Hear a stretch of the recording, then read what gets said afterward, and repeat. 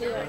Really seen her uh, here downtown over the coffee roaster selling her, her beautiful artwork uh, that I think is just, it's just really incredible. She's a really talented person.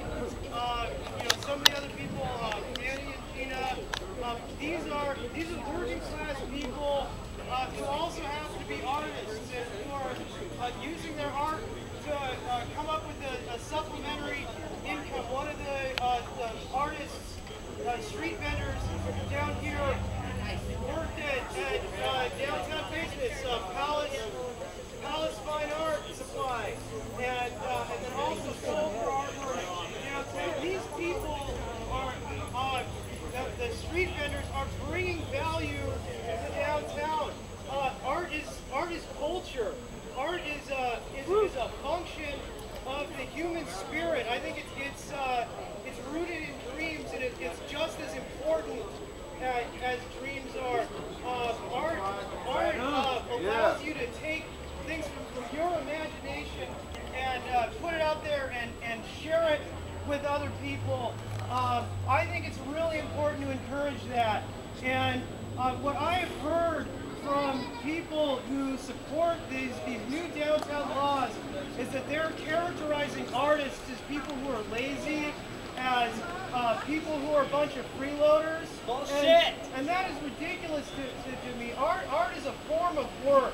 Uh, art is uh, art is not easy. Art is, is something that you have to dredge up out of your soul in order to do. And um, uh, walk into an, an art supply store and tell me if you can get art supplies for cheap. Art supplies are, are expensive, so anybody who is trying to make a career for themselves as an artist has uh, has to go out and do some kind of work uh, to get that money because art supplies are so expensive.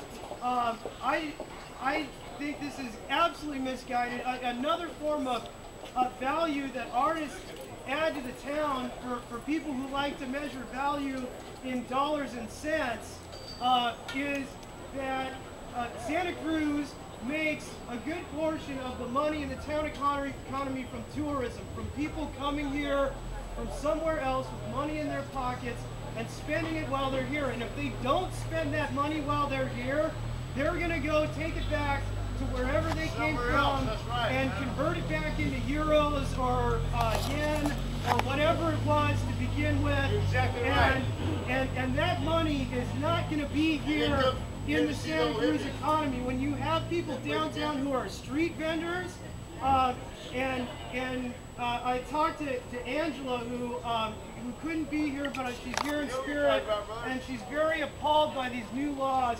Um, I asked her, "Hey Angela, do you sell a lot of art to tourists?" And she said, "Yeah, that was the majority of my customer clientele. So that's all money that could have gone back to Europe or gone back to China or gone back to India or South America or wherever wherever that money came from that's staying right here uh, in the Santa Cruz economy.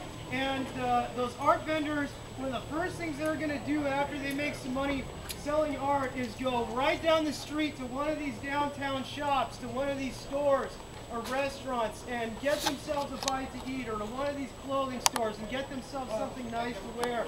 So the way that this ordinance has been set up in such a way to set the street vendors against the downtown businesses as if they're supposed to be enemies with each other, I think that is just ridiculous and, ex- and insane actually. It's downright uh, just it's just it's just wrong-headed. The street vendors being here actually benefits the downtown businesses, not the other way around. Thank you. I don't know if this was on. Oh, yeah. Tell me. Is it It's yeah yeah yeah. Oh yeah, it's good. Been on?